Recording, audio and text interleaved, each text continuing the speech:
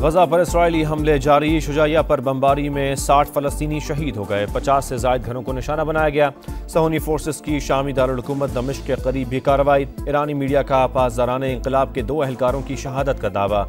Netanyahu का गजा को सफ़ाई हस्ती से मिटाने का प्लान। सीज फायर पर मुजाकर के लिए कतर गई मोसाद की टीम को वापस बुला लिया।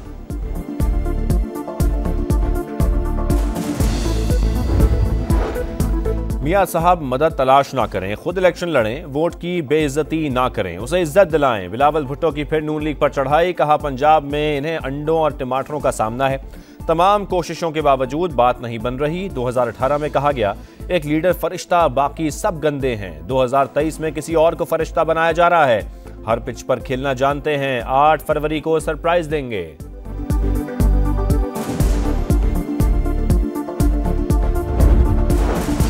पीपल्स पार्टी पंजाब में नून लीग के मुखालिफ वोट हासिल करना चाहती है। अगर बिलावल समझते हैं, हम पर तनकीद से उनको फ़ायदा होगा तो पूरा ज़ोर लगाएँ। राना सनाउल्ला का रद्दमल।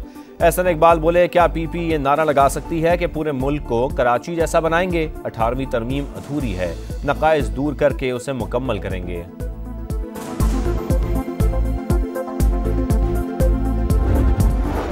और लाहौर में सिख यात्रियों को लूटने वाले दो नौसरबाज पकड़े गए। आफ्ताब और जीशान का ताल्लुक कराची से है। वायरलेस सेट और पुलिस यूनिफॉर्म भी बरामद।